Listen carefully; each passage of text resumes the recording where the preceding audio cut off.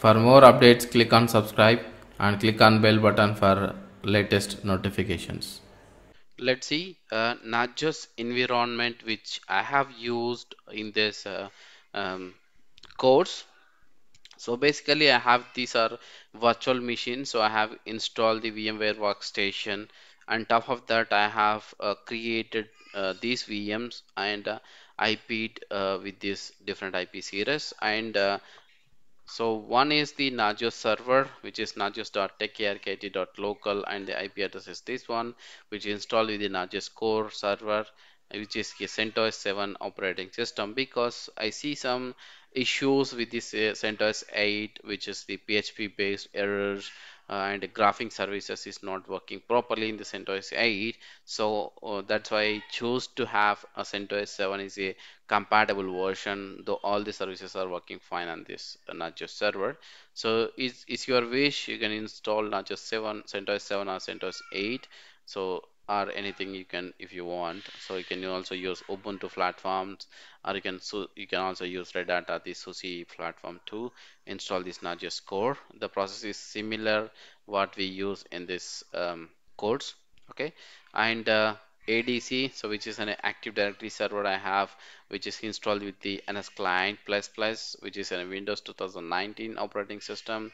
And I have Ubuntu which is uh, installed with the NRPE agent and which is an a Ubuntu 2004 operating system.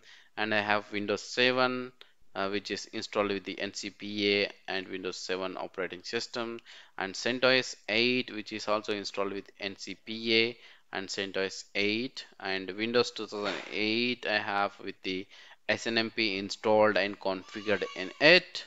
Um, and CentOS 7 another client I have with the SNMP enabled um, and one more I have is that router which is uh, configured the SNMP uh, monitoring the agent agentless and which has a Cisco IOS operating system. So this is the uh, environment example. You can use the VMware platform or if you have the any Docker container technologies like uh, example container technologies like Docker, Kubernetes or uh, maybe a Vagrant or VirtualBox, anything you can use to uh, spin up the virtual machines and you can work on them. But here um, as a lab, I'm using the VMware workstation where I'm compatible on this.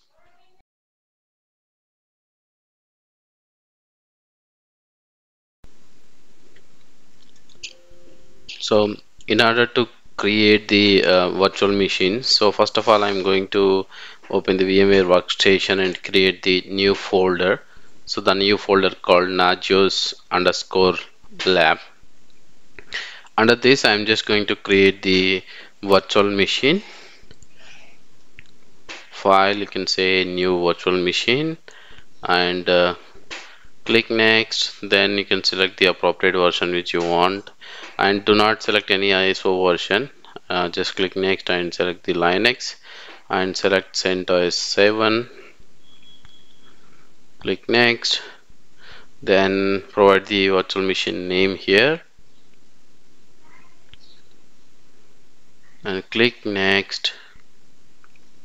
Now provide the appropriated uh, um, process cores required. So I am just providing 2 2 so which is going to be a 4 cores and uh, provide the RAM. So for the server maybe we require at least 4 GB RAM. In this case I'm just providing 8 GB for this. And click next. Now click next. So appropriate NAT settings. Then click next.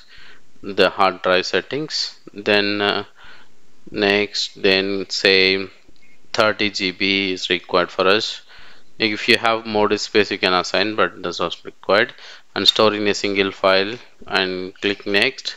Then now you can just customize the hardware or you can also just click finish and go to edit settings. So I'm just moving this VM to the folder. And now click edit settings so here unrequired uh, drivers are the devices. You can just remove like uh, printers and USB devices which are not required on this VM now you can just uh, select browse CD DVD drive and browse for the CentOS 7 ISO so I already downloaded and keep it ready for this. And just select that uh, CentOS 7 ISO and say connect connected so while powering on it should be connected. Tick mark that value and power on the virtual machine. Now select install CentOS 7 enter. Now hit enter. Whenever you hit enter it will automatically uh, go through the few screens. Then it will launch into the graphical user interface here and select the appropriate language you required and click next. So I, in this case I selected English English and you can set the date by clicking on the date and time. So my time zone is IST so I just selected the IST time zone and you can select the keyboard language if you want to change it. You can change it or uh, the OS installation should be minimal and now I'm configuring the hard drive so I select manually configure my hard drive and click done. Now say create the partition which is boot. So I'm go providing 2 GB for the boot. And I'm going to create one more partition which is uh, slash user. So slash var is not particularly required to create you just select slash user and say I'm just going to give uh, 10 GB in this case. If you have more space you can just give it. Okay now I'm just going to create the swap partition. So always swap partition is RAM into 2 so I can give any. Okay and now again add the plus sign and remaining space. Do not provide any space so it will take to the slash. And click done and accept the changes. Now you can just change the security settings and the KDM settings if you want. So switch on the virtual machine network and uh, change the name. So in this case I'm just going to assign the host name is uh, core dot techarkit dot local. And click okay so now the settings is on. Now click on the configure. So this is actually DHCP settings. I would like to assign this to the manual settings. Say add and provide the virtual IP address. So here 192.168.175.200 but in this case I just uh, in, in place of 175 I just use 29 network here. 255.255.255.0 and the gateway address 192.168.29.2 uh, and use the DNS IP address.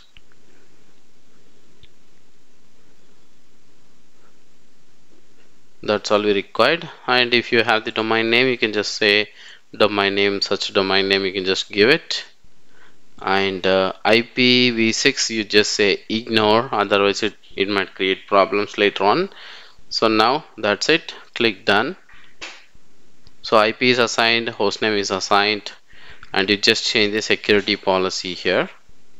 And I'm just switching off the security policy because this will create a lot of problems later on. And now click begin the installation. So after this you can just click on the root password here and assign the root password whatever the root password you assigned remember it and click done. It should be strong enough. And uh, I would like to create one more user as the administrator to log into the server. So it's say here Ravi my name is I'm just providing here. And you can also choose the username and uh, tick mark it for a administrator. So later on if you want to change any administrator tasks so that will be helpful so now leave it. It will take some time to uh, complete this package installations. After that it will ask you for the reboot and click on the reboot button. So it will reboot your virtual machine. Then again it boot up. It comes to the login screen. So first time it will take little time to come up as a login screen.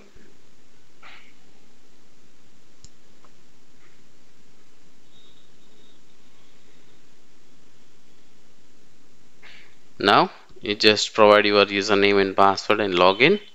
In this case I'm using I'm using here my username uh, which is just created uh, A Ravi and I just log in with the same password and later on I just uh, convert as a root.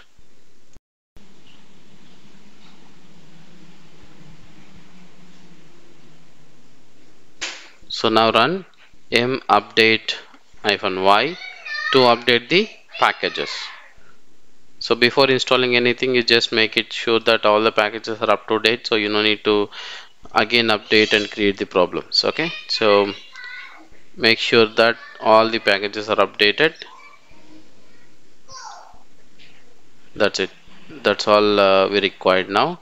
And to switch off the um, SE Linux security uh, to edit uh, slash etc SE Linux the configuration file and make sure that the SE Linux should be in disabled mode. And save the configuration and also switch off the firewall. So it does not require firewall so I'm just stopping it. Systemctl stop firewall D and mask the firewall D. So anyone you want to mask it then anybody wanted to start it also it should not start. So that's why we systemctl mask firewall D.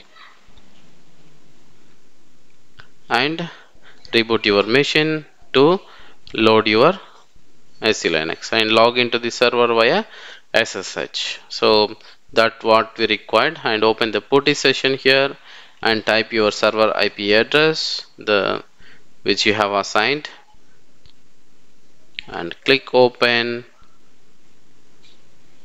And it will ask you for the username and password provide that and the server will be logged in. So make sure that your SSH service is running on the server otherwise it won't connect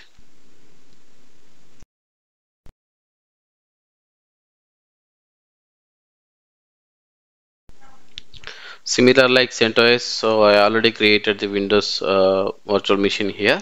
So I'm editing the virtual machine settings and click on the DVD CD CD and DVD ROM and select the USB ISO file browse it and go to the drive path where ISO is available and select the appropriate ISO here. I'm selecting the Windows 2019 ISO and click open and click OK. Make sure that that's connect on power on is tick marked. Then power on the virtual machine. So it will take a moment to load this ISO and load the screen. So now after loading the screen you can see that uh, which is the language settings and the location settings. You can just select it and click next then click on install now. Then it will load the another screen and here select the desktop version. Click next. Because we need the GUI interface to install the client and select the license agreement and click on the custom installation and uh, select new partition and click apply and it will create the new partition. Select the partition and click next. So it will take a while to complete this installation uh, after that installation then it will take a moment to restart the virtual machine within 10 seconds. So it will automatically reboot.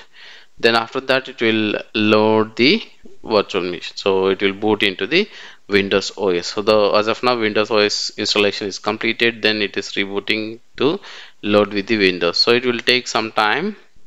A few minutes it will take then it will ask you for the administrator password to create. So you have to enter the strong password otherwise it does not accept. So minimum it should have eight characters with the upper character and the special character here. So I'm just using around 13 characters password. Just let's finish.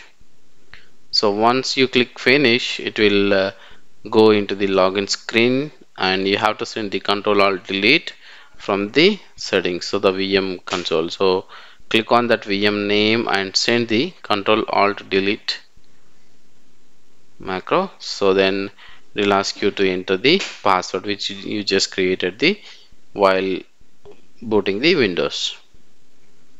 Now it will actually logging into the screen. Now you have to install the VMware tools to provide the biggest screen resolution and mouse and uh, keyboard controls. So otherwise it will have some strucking strucking mechanism. If you install the scrolling of the mouse and the keyboard works very well then let's say that um,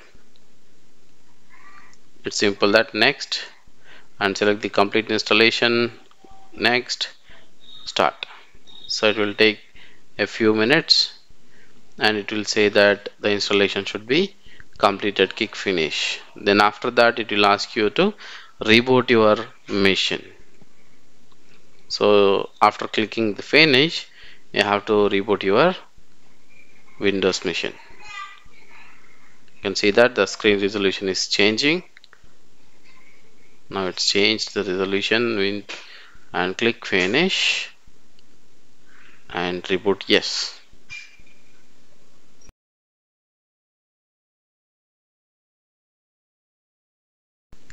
rename the windows machine. So click on start and look for the PC and click on the properties of the PC then click on the settings.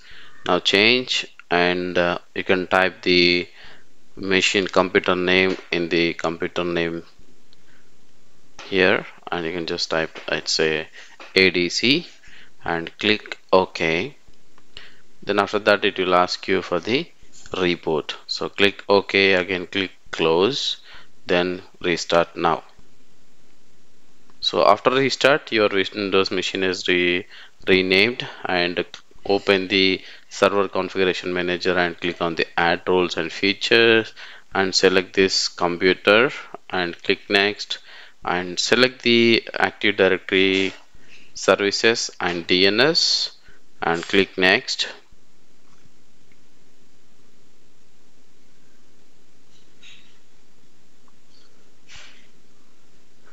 and click next next and say install. So now it will take a time to install the feature.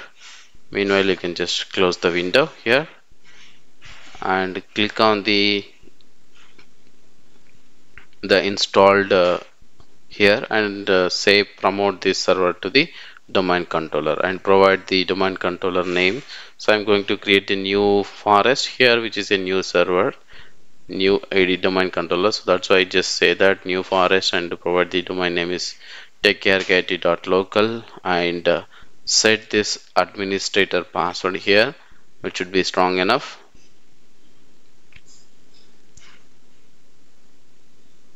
So I'm setting the password and re reconfirming the same and click next.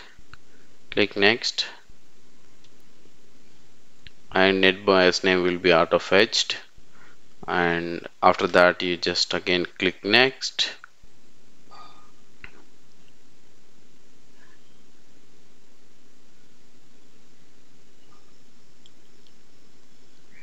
Now click next and next. So it will verify the prerequisites and click install after that it will take a while to install and it asks you for the close the window and you can close the window and it will automatically reboot your server and which is successfully install the active directory services in the server. That's about it guys. Uh, thanks for watching. Stay tuned. Please subscribe to the channel for more upcoming videos and courses. If you want to join the uh, WhatsApp group, the link is given below on the description. Click on the link and join the WhatsApp group for connecting with more technical people.